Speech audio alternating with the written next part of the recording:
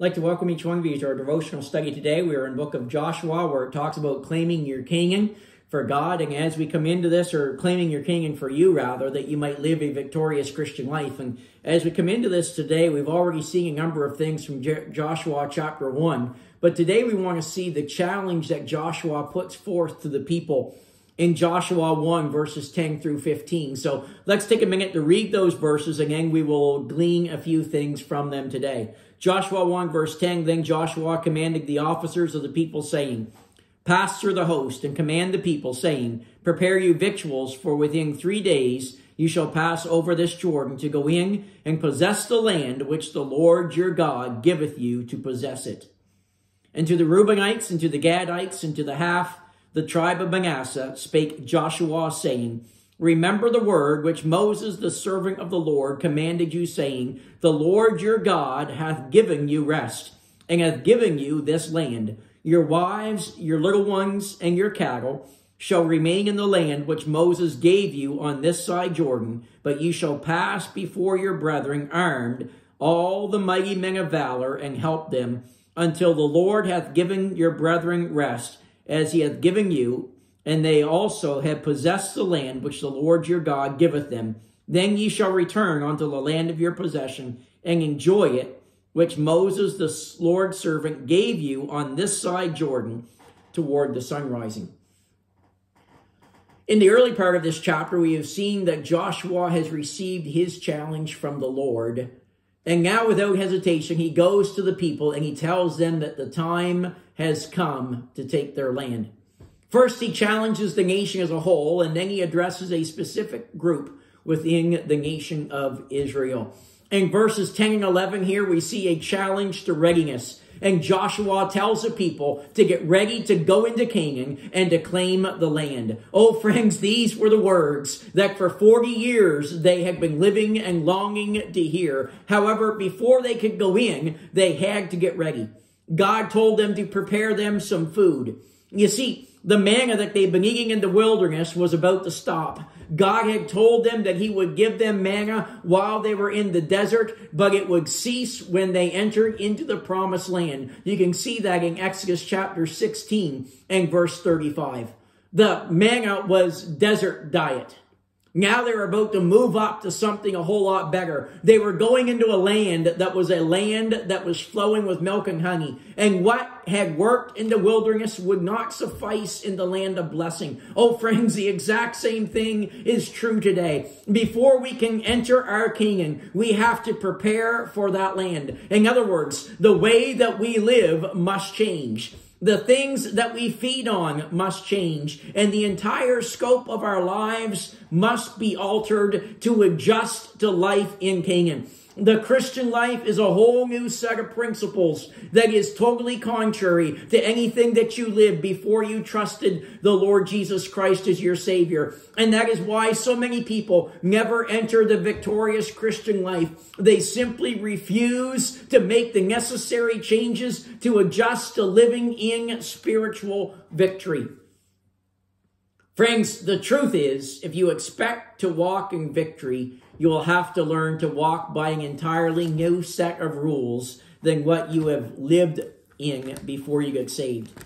In Romans chapter 6 and in verse 4, it says this Therefore, we are buried with him by baptism into death that like as Christ was raised up from the dead by the glory of the Father, even so we also should walk in newness of life. So for the child of God, there is a newness of life that they walk in. They function by a different set of rules than they functioned by before they were saved. To see more about this, I encourage you to take the time to not only read, but to carefully study Colossians chapter 3 in your Bibles. The old man must die, and we must be alive to the new man in Christ if we are going to experience spiritual victory. So I ask today, what will you have to do to get ready for Canaan? What in your life has to die before you can truly live for what God wants? But then there's also a call to responsibility here in verses 12 through 15 of Joshua 1. You see, In these verses, Joshua addresses the tribes of Reuben and Gad and the half tribe of Manasseh. These tribes had sought and they had gotten permission from Moses to remain east of the Jordan, just outside the promised land. The reason for the request? Well, you can see it in Numbers chapter 32. The land east of Jordan was a land that was good for raising cattle. Still, Joshua reminds them that they had promised to fight alongside their brethren until the land was conquered. And you see that promise made in Deuteronomy chapter 3, verses 12 through 20. So now these people are challenged to fulfill their promise and to aid the nation until victory was secured. You see, while these people settled in a land of prosperity, they were also in a land of danger. Years later, when the Assyrian army attacked from the east, these two and a half tribes were the first to go away into captivity. Oh, friends, there's a powerful lesson for us in these verses, and that is this that we have literally multitudes of Christians who are just like these two and a half tribes. They are more concerned with making a living than making a life. The primary thing that motivates them is getting ahead in life. In other words, they are materially minded instead of being spiritually minded. These people represent those Christians that I would call borderline Christians. These are people who have trusted the Lord Jesus Christ for salvation, but that's about as far as they're willing to go. They will come to church when they want to come to church. They will give when they feel that they can afford to give. They will fight a battle now and again spiritually, but most often they're just seen playing around the edges, refusing to put God first in their lives. By the way, friends, it's that kind of Christian who is usually the first to fall in times of attack and in times of temptation. People who live like this say anything they want to, but the truth is obvious. They have other gods in their lives to whom they have sold their souls. Friend, if you really love God today, then how about deciding to cross on over the Jordan River into Canaan. Make the decision to leave behind anything that is holding you back from serving the Lord like you should and say, I'm going to leave that and I'm going to cross the Jordan River and I'm going to enter into the land that God has for me. Oh, friends, you can stay where you're at and you can rationalize it all you want to, but the truth still remains. There are so many that are seeking and choosing gold and other things over God. Friend, listen very carefully as we close today. If you refuse to line up with the will of God for your life, then you can be assured of the fact that one day you will fall. You cannot play around the edge long before you fall out. Somebody asked me one time in Acts, chapter, Acts chapter 20, the story of Eutychus. Somebody asked me one time, why is it that Eutychus fell out of church. Now we know the story. Bible says that Paul was long preaching, and friends, when the Holy Spirit of God says you're a long-winded preacher, you're a long-winded preacher. Eutychus was in the third story window, and he fell out the window. He fell asleep and fell out.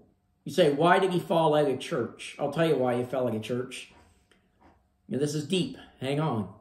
He fell out of church because there was more of him out the window than there was in the building. Now you say, that's pretty simple. Why do you even say that? Uh, the reason I say that is this. There are multitudes that are falling out of church today because spiritually speaking, they're more out than they are in. Oh, friends, this is not the time to play games.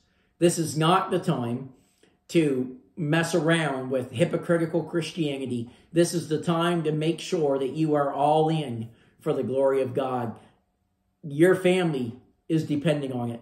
Your community is depending on it. You need it. Oh, friends, we need people that are sold out to Jesus Christ. Will you take the challenge that was put forth by Joshua? And will you make sure that you are dedicated to possessing this land of victory, walking in the abundant Christian life, that God has for you. The world needs that kind of Christian. Are you one? And if not, will you take the steps you need to take so that you can be one? Have a great day.